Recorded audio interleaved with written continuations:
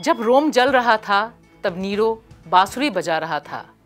आज का नीरो थोड़ा मॉडर्न हो गया है और साथ ही उसकी टीम भी। हम क्या देखते हैं? ज़बरदस्त फोटोशूट चल रहा है। साफ़ सुथरे प्राइवेट सी बीच पाँच सितारा होटल के निजी समुद्र तट पर कचरा बिना जा रहा है। कचरा भी प्लास्टिक है और उसे बटोया जा रहा है प्लास्टिक की ही पन्नी में। विदेशी मेहमान के साथ कपड़ा बदल बदल के फ़ोटो सेशन चल रहा है। और उधर, प्रजा हाहाकार में है, रुदन में है, भूखी है, बेरोजगार है। और सबसे बड़ी बात कि जनता की तकलीफ़ तकरीबन अदृश्य है। इस अदृश्य को दृश्यमान करने इनविजिबल को विजिबल करने की हमारी मुहिम जारी है। न्यूज़ क्लिक के इस कार्यक्रम खोज खबर में आप सबका स्वागत है।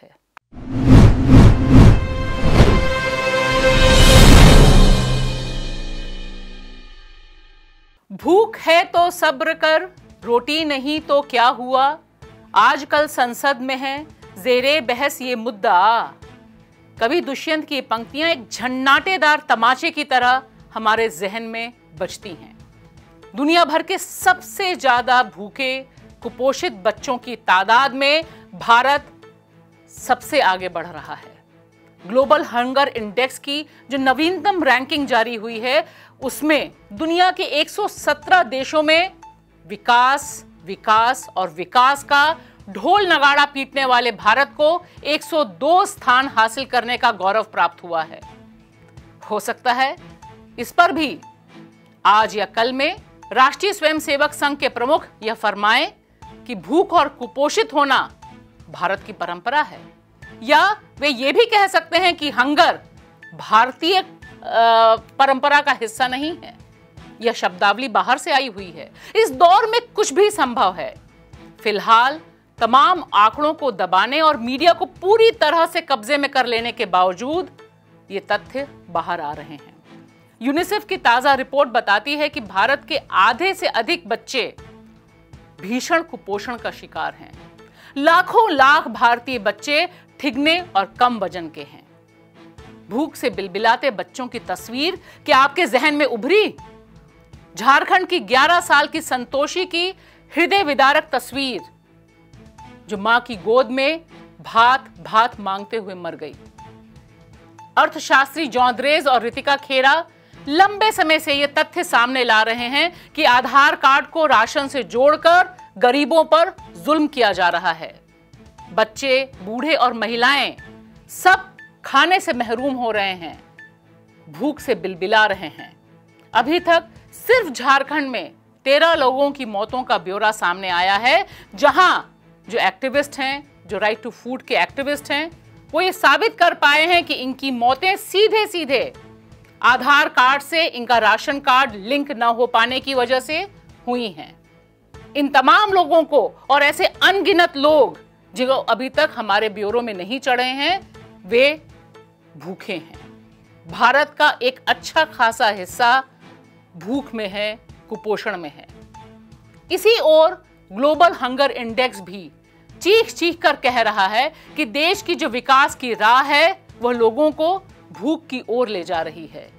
ये सारा जो विकास का मायाजाल फैलाया गया है, जिसके बारे में सुबह से शाम तक प्रधानमंत्री नरेंद्र मोदी गृह मंत्री और तमाम लोग दावे कर रहे हैं, चुनाव में घोषणाएँ कर रहे हैं। दरअसल ये सारे झूठे हैं। Punjab and Maharashtra cooperative bank, PMC bank के साठ हज़ार खाता धारक लुट गए हैं, बर्बाद हो गए हैं और वे सड़कों पर जार जार रो रहे हैं। तीन लोग अब तक जान गंवा चुके हैं और अनगिनत जाने दो धारी तलवार पर लटकी हुई हैं। लेकिन हमारी प्यारी वित्त मंत्री बता रही हैं कि सब कुछ ठीक ठाक है। थोड़ी बहुत जो गड़बड़ दिखाई दे रही है, वह सब पिछली हुकूमतों का किया धरा है। पीएमसी बैंक में अपनी गाढ़ी कमाई जमा करने वाले भारतीय नागरिक पैसा नहीं निकाल पा रहे हैं। वे बर्बाद हो रहे हैं, वे सरकार से कह रहे हैं कि तुरंत हस्तक्षेप किया जाए, उनका पैसा उन्हें मिले।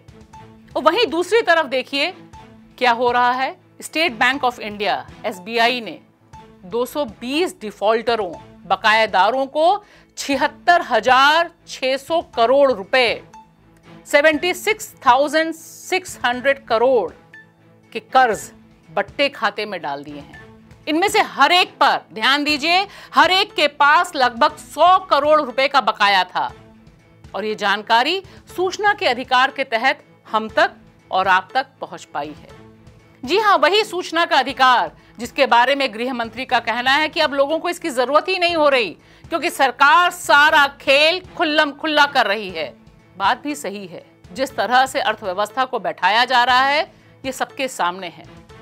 अभी देखिए, तेल की मांग अपने न्यूनतम पर पहुँच गई। पेट्रोलियम प्लानिंग और एनालिसिस सेल के जो डाटा है, उसके अनुसार जुलाई 2017 के बाद डीजल और इंडस्ट्रियल फ्यूल में उसकी जो मांग आई है, उसमें गिरावट हुई है। यह सोलह दशमलव शून्य छह मिलियन टन से गिरकर सोलह दशमलव शून्य एक मिलियन टन पर हो गई है। मंदी सिर्फ़ औद्योगिक क्षेत्र में ही नहीं, जानवरों के क्षेत्र में भी हो रही है।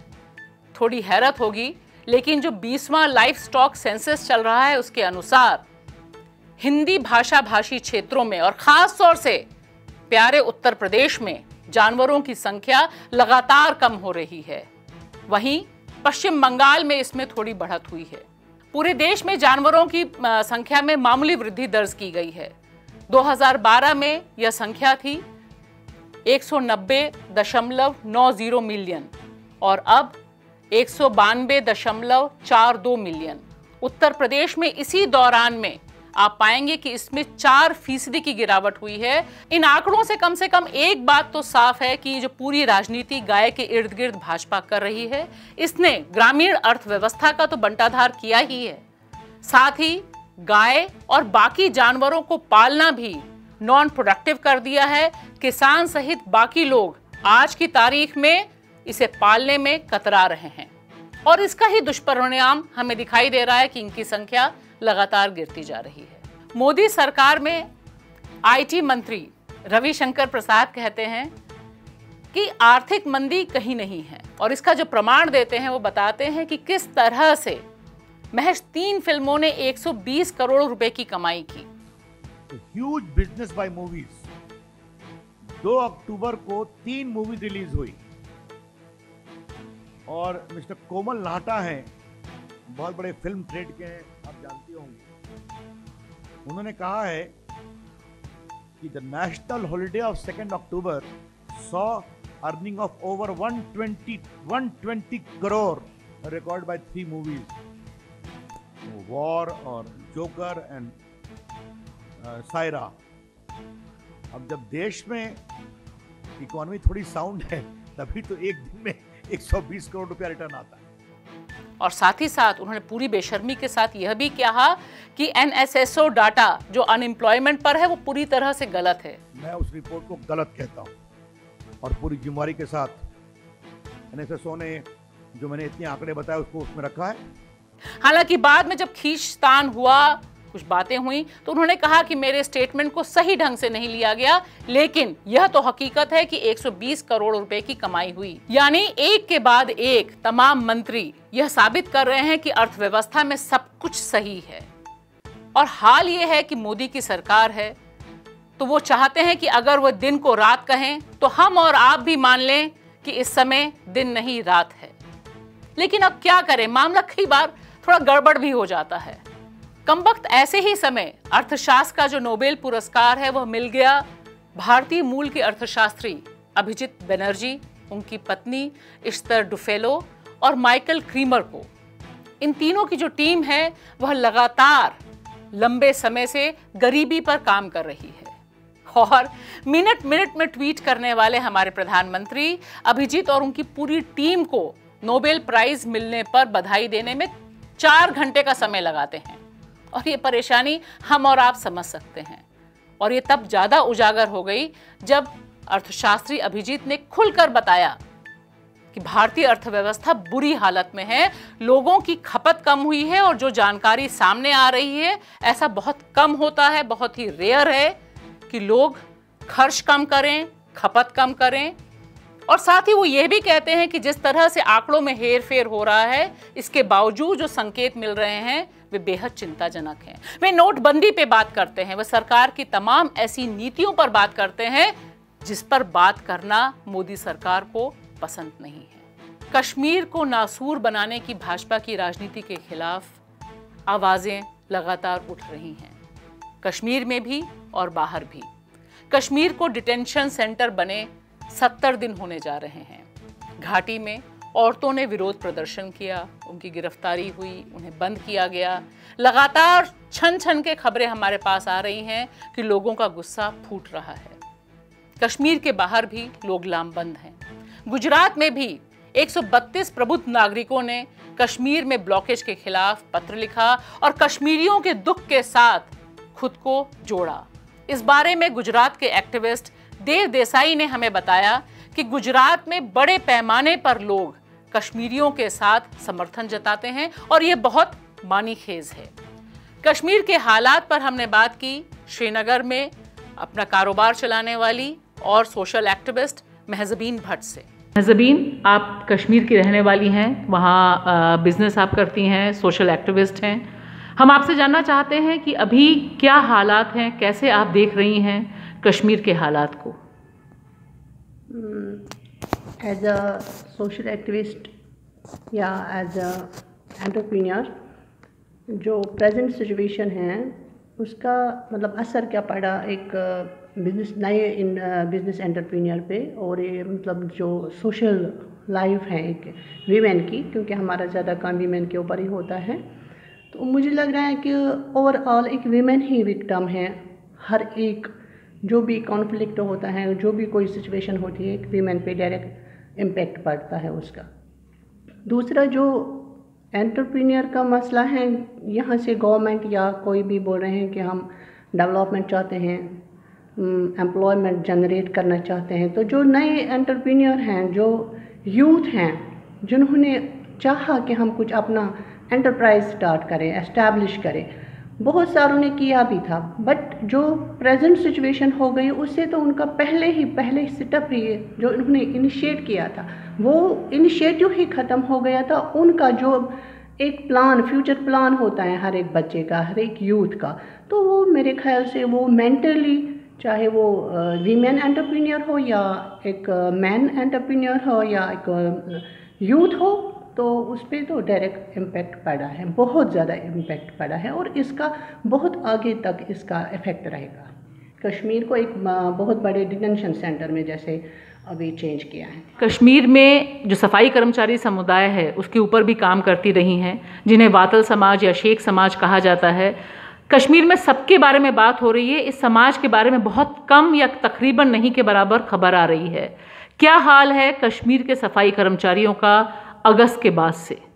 इनकी डायरेक्ट इन पे, इनकी अर्निंग पे, इनकी इनकी लाइवलीहुड पे बहुत बड़ा फ़र्क पड़ा है, बहुत ज़्यादा फ़र्क। है के जो मतलब वो लोग हैं, वो खाने को भी नहीं होता है किसी किसी टाइम वहाँ पे। ऐसी ऑलरेडी उनकी सिचुएशन है, आप तो आपको तो पता है, आप आई हैं, आप मिली हैं, बहुत सारी कम्युनिटीज़ में गए हैं तो आपने देखा है कि वो जो दिन में कमाए या एक हफ़्ते में कमाए वही चलता है। तो जब ऐसी सिचुएशन आती है तो ऐसा सेक्शन बिल्कुल इसके ऊपर बिल्कुल बहुत ज़्यादा असर पड़ता है और बहुत इनका लाइवलीहुड बहुत भी इफ़ेक्ट होता है। दोस्तों, ये दौर बहुत विचित्र है। आज की तारीख में अगर हम और आप इकबाल का जो सबसे मशहूर गाना है, जो सबसे मशहूर नज्म है, उसे गाते हैं तो क्या पता ये जो सरकार है, ये जो हुकूमत है, यह सोचे कि हम कोई धार्मिक तंत्र मंत्र कर रहे हैं, कुछ दुआ कर रहे हैं।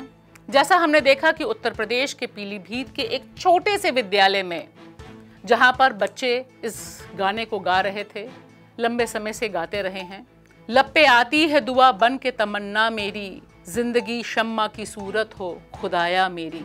ये साधारण सी पंक्तियाँ उस प्रिंसिपल के खिलाफ एक बड़ा जुर्म बनी। और सिर्फ़ उस प्रिंसिपल के खिलाफ ही नहीं, इस डेमोक्रेसी के खिलाफ भी एक बड़ा केस बनता जा रहा है। और अगर ये हाल रहा हमारे वतन का कि इकबाल को गाना अगर एक अपराध है, एक जुर्म है तो हमें और आपको सोचना पड़ेगा कि इस जमहूरियत को, इस डेमोक्रेसी को हम और आप मिलकर कैसे बचा सकते हैं।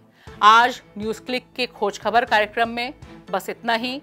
बना रहेगा हमारा और आपका साथ। लाइक करिए, शेयर करिए, खोज खबर।